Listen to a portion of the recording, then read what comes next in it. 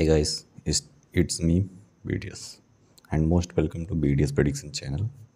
Now I'm talking about the 29 March Kolkata versus RCB match number 10. Our toss winner is Kolkata. If I say for match winner, then our team is also Kolkata. If you are like our prediction, please share everywhere and uh, if you want session वगैरह तो it's come our telegram channel so please join telegram channel link in description. And don't forget to subscribe our telegram channel and youtube also. Thank you